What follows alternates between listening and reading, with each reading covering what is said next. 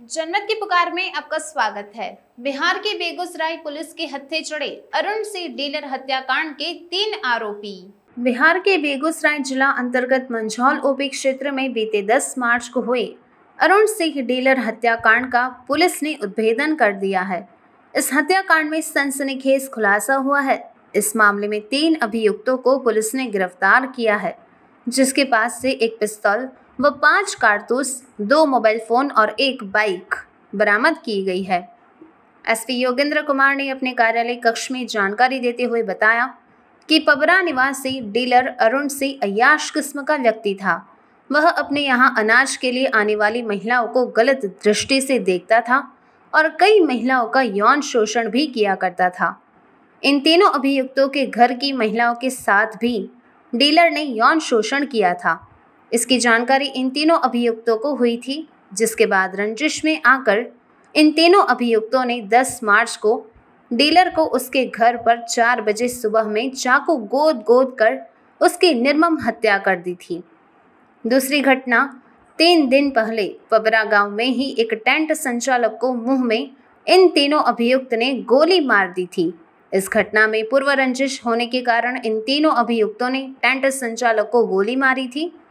गिरफ़्तार तीनों अभियुक्त मंझौल ओपी क्षेत्र के कमला निवासी, मोहम्मद केसर का बेटा मोहम्मद सोनू, पबरा निवासी मोहम्मद इत्तेफाक का बेटा मोहम्मद अशफाक राजा, मोहम्मद सलाउद्दीन का बेटा मोहम्मद इनायतुल्लाह है। एसपी योगेंद्र कुमार ने बताया कि डीलर हत्याकांड के बाद इस हत्याकांड के उद्भेदन के लिए मंझौल एसडीपीओ सत्येंद्र कुमार सिंह के नेतृत्व में मंझौल एसएचओ अजित कुमार सहित अन्य पुलिस पदाधिकारियों की एक टीम बनाई गई थी। इन पदाधिकारियों ने जाँच करते हुए इस घटना का उद्भेदन किया है। इन पदाधिकारियों को पुरस्कृत किया जाएगा।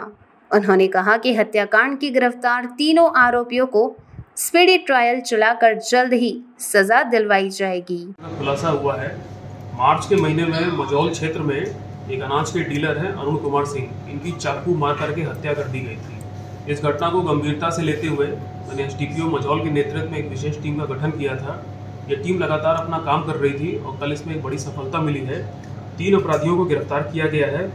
इनके पास एक पिस्टल, पाँच ज़िंदा कारतूस, मोटरसाइकिल और मोबाइल फ़ोन बरामद हुआ है। पूछताछ में तीनों ने अपना अपराध स्वीकार किया है। इन तीनों ने यह बताया है कि ये जो डीलर था, अरुण कुमार सिंह ये कैरेक्टर वाइज अयास किस्म का आदमी था और इसने क्षेत्र में कई महिलाओं के साथ यौन शोषण किया था। ये डीलर में जो सामान देता था, अनाज वगैरह, उसी को देने के क्रम में ये अपने जाल में फंसाता था यौन शोषण इसने किया। हुआ यूँ कि ये तीनों अभियुक्त के घर की भी कुछ महिलाओं के साथ इसने यौन शोषण किया। ये बात जब तीनों अभियुक्तों को पता चली तो ये काफ़ी आक्रोश में आए और इन लोगों ने बदला लेने के लिए या इस आदमी को ठीक करने के लिए पूरा प्लान बनाया, षडयंत्र रचा। और ये लोग रात को वहाँ पहुँचे जहाँ ये सोता था, उसको पकड़ा और चाकू गोद के हत्या इन लोगों ने की। चाकू मारने के क्रम में इन लोग को भी चोट लग गई है, वो भी हम लोगों ने देखा है, उसका भी हम लोग मेडिकल करा रहे हैं। इसके अलावा घटना के कुछ दिनों के बाद इन्हीं तीनों अभियुक्तों ने एक टेंट हाउस संचालक है, अरविंद ताती, उसमें भी गोली चलाई थी तो उसमें भी केस दर्ज हुआ था। तो जब वो घटना भी हम लोग ने पूछी तो इन्होंने बताया कि उस टेंट संचालक से उस टाइम से इन लोगों की दुश्मनी चल रही थी और बीच में मारपीट भी हुई थी। उसी में बदला लेने के लिए, प्रतिशोध लेने के लिए लोगों ने ये घटना कारित की थी। तो इन तीनों की गिरफ्तारी से अरुण कुमार सिंह डीलर मर्डर कांड का भी खुलासा हो गया है और जो गोली चलाई थी टेंथ संचालक पे, उसका भी खुलासा हुआ है। यदि ये तीनों ना पकड़े जाते तो आगे चल के ये कोई और बड़ी घटनाएँ देते हैं या कोई बड़ा आपराधिक गैंग भी ये लोग बना लेते। हैं तो इनकी गिरफ्तारी से तो क्षेत्र में जो घटनाएँ हो सकती थी, उनको रोक लिया गया है। इसमें एस मझौल और इनकी टीम ने बड़ा ही कुशलतापूर्वक अपना काम किया है। तो मैं अपनी तरफ़ से भी इनको पुरस्कृत करूँगा।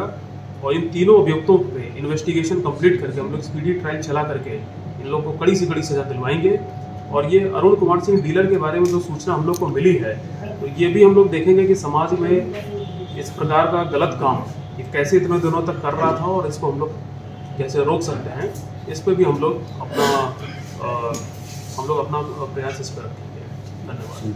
अगर आपने हमारा अभी तक चैनल सब्सक्राइब नहीं किया है तो कृपया चैनल सब्सक्राइब कर लें। लाइक करें, शेयर करें, कमेंट करें। तो मिलते हैं फिर किसी और खबरों के साथ। नमस्कार।